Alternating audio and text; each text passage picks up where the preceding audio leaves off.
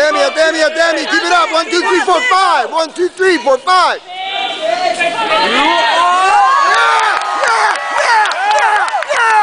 Hello, and welcome to another episode of 207 Aikido. So, I've posted a lot about softness and connection in Aikido. These are critical skills, and I think soft styles of practice are an important way to build them. But I'm not gonna lie, I like a little competition every now and again. Today I want to talk to you a little bit about randori and how it is possible to maintain softness and fluidity even in the highest levels of competition. This is not to say that I've gotten there. When it comes to competition, I do better with kata.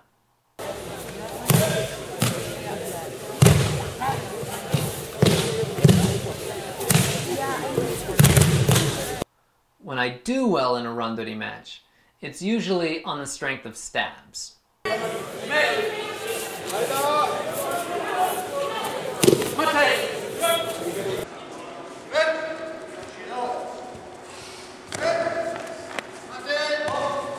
I did get one satisfying technique in London, but it didn't end up counting.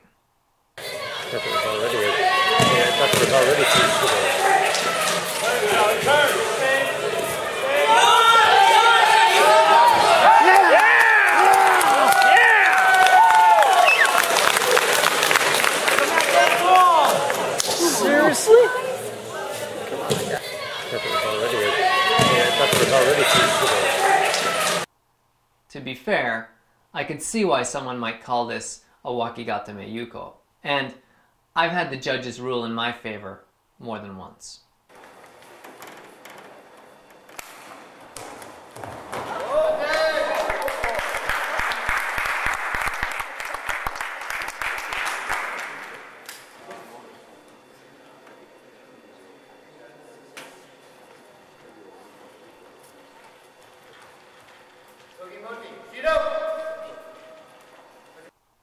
Big props to Kenny and the whole Vassar team at last year's Nationals. They did really well overall. And though I may have won this particular match on points, Kenny definitely had his way with me. And he would have won if he could have stopped himself from grabbing my dogi so many times. Although, as I said, these things do cut both ways.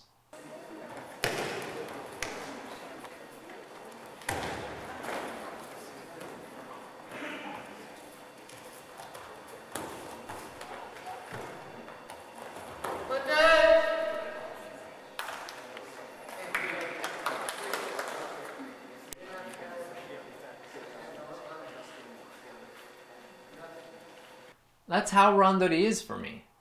A few shidos here, a yuko there, a stab if I'm lucky, and basically nothing that looks very impressive. This is not the case for everyone though. Take for instance, Josh Ramey.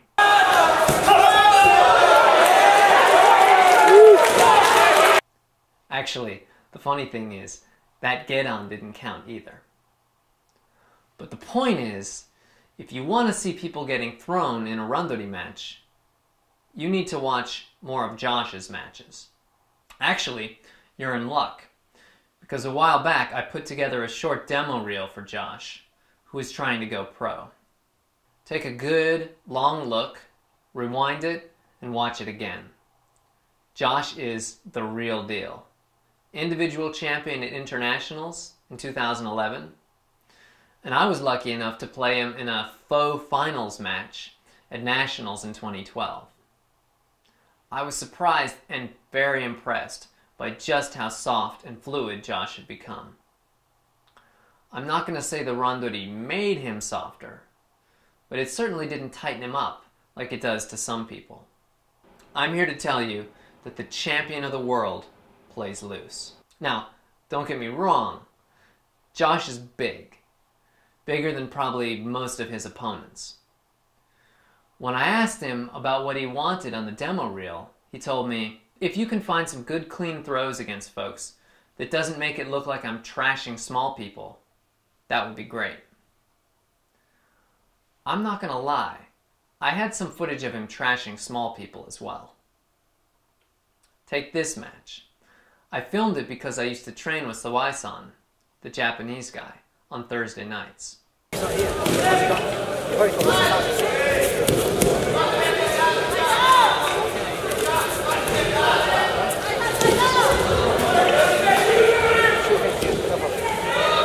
Then there was the match against Shimada-san. When I saw this match for the first time on YouTube, I already knew that Shimada had lost. When I saw the technique that's coming up, I silently cheered for Shimada.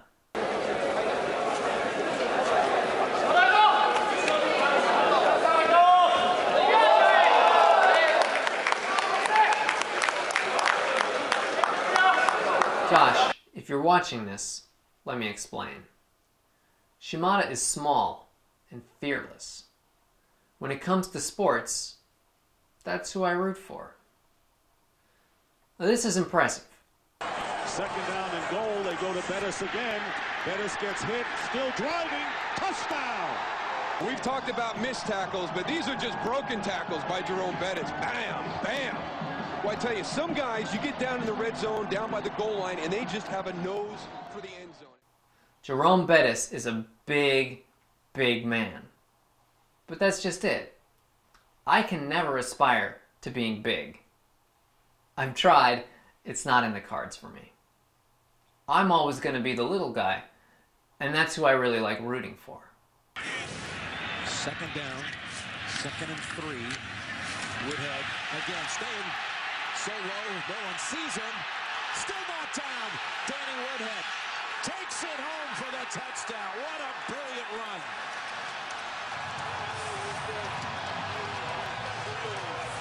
Rajon Rondo putting on a show.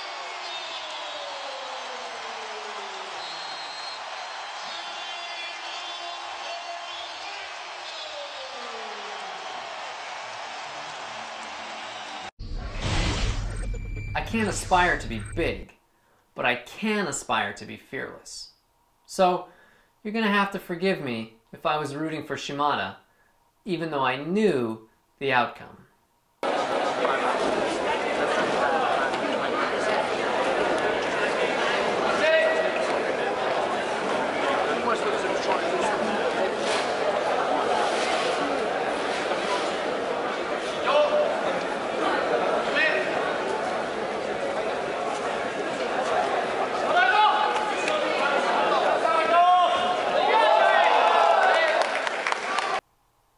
The other thing is that people tend to lean forwards in Randori. In part, I think because it's a game with rules and not a fight. So it was nice to see Shimada make Josh pay a little. Of course, Josh paid it right back.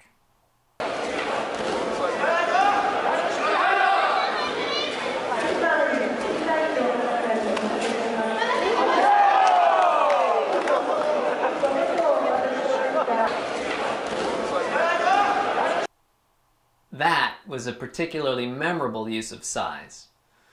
But there was a lot more where it came from. But then there was a lot of skill on video as well. Josh has a head start on most of us because of his size, but you don't become world champion without a hell of a lot of skill as well. Josh had a lot of skill in Kyoto in 2009.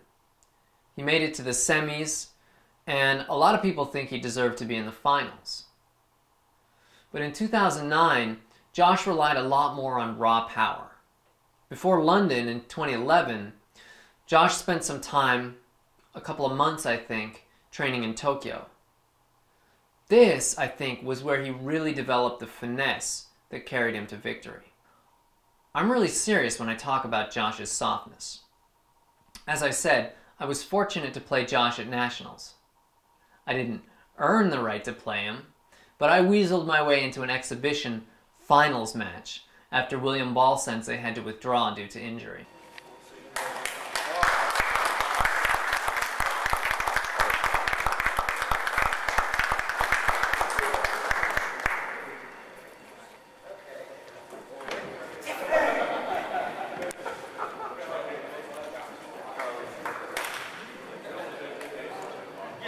In his Randori seminar before the tournament, Josh had talked about how light Junji Konaka plays. After our match, Josh was nice enough to compare my lightness with Konaka's. That was the best compliment he could have given me. And it's a compliment I can return 100%. I knew Josh was nimble for his size, but I was blown away by just how soft he was. So I can tell you from personal experience, the stuff you're going to see on this demo reel is the real deal. All right, I think I've talked enough. Have a look.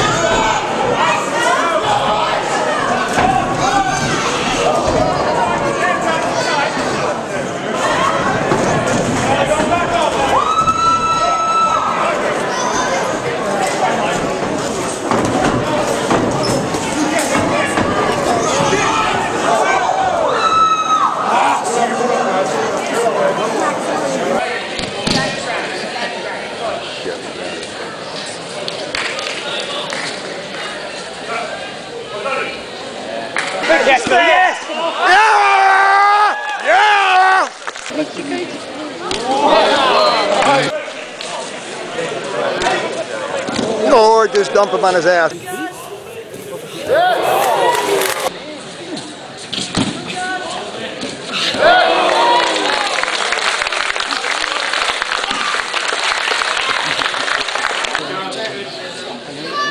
Bring the strikes up from his belly. Bring the strikes up from his belly. There you go. There you go. Bring the strikes up from his belly. Bring the strikes up from his belly.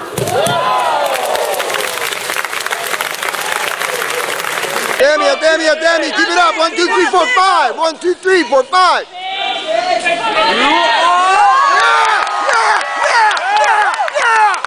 yeah. Up. One, two, three, four, five. One, two, three, four, five.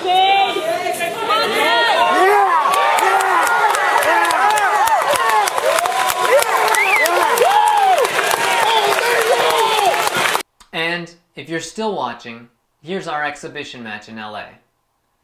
Josh cleaned my clock a bit, but it was a blast.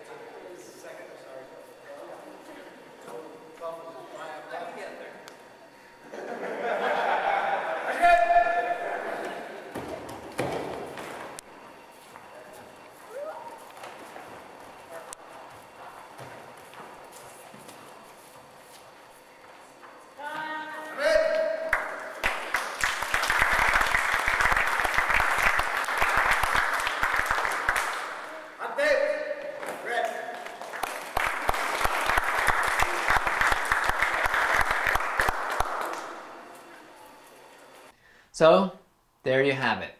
You can't win them all, but a little competition is not always a bad thing, and who knows, it might even help you. Josh, I will see you in Tokyo.